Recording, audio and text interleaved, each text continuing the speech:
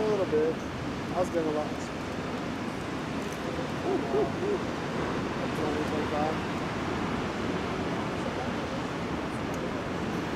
Yeah, well, I was right in there with the mix too. I was getting off that show, that's for sure.